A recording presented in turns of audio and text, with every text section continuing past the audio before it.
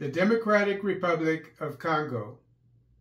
African Union to fund and support SADC security mission in DRC.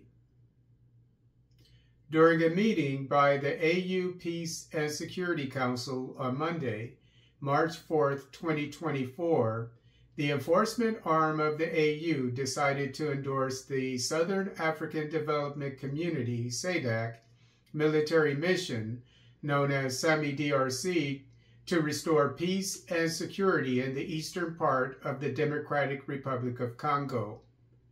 The decision by the AU Peace and Security Council, which requires providing the necessary logistical and financial support for the mission, was not announced until March 9th.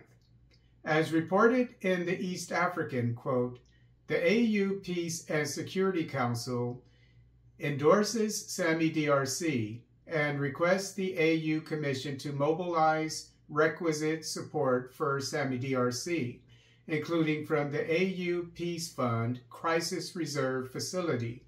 It also requests the AU Commission to expedite the transfer of the equipment donated to SADC, which is still at the AU Continental Logistics Base in Douala, Cameroon, unquote. Comprised of around 5,000 South African, Tanzanian, and Malawian troops, supported by troops from Burundi, SAMI DRC has been operating in eastern DRC since December 15th and replaced the failed mission of the East African Community Regional Force, which left by the end of the year. The failed MONUSCO mission, which has been in eastern DRC since 1999, has also begun redeploying and is scheduled to depart the DRC by year's end.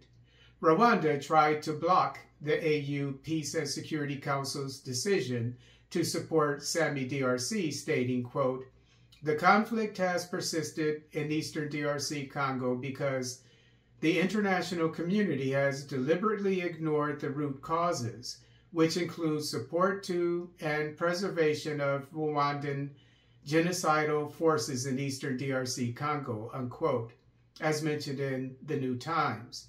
In a letter to the chairperson of the AU Commission on Monday, Rwandan Foreign Minister Vincent Biruta claimed AU support to the SAMI DRC mission, quote, can only exacerbate the conflict, unquote. Rwanda accuses the DRC and Burundi of supporting the democratic forces for the liberation of Rwanda, FDLR, a Hutu-led insurgency operating in eastern DRC that Rwanda claims is backed by the Congolese government. However, the AU Peace and Security Council posted on X that it, quote, strongly condemns M23 ADF FDLR, unquote. Since 2022, the M23 insurgents have seized several key towns in North Kivu province. There is ample evidence from various reputable sources to support the accusation that Rwanda trains and supplies the M23, including arming it with surface to air missiles and other sophisticated equipment recently.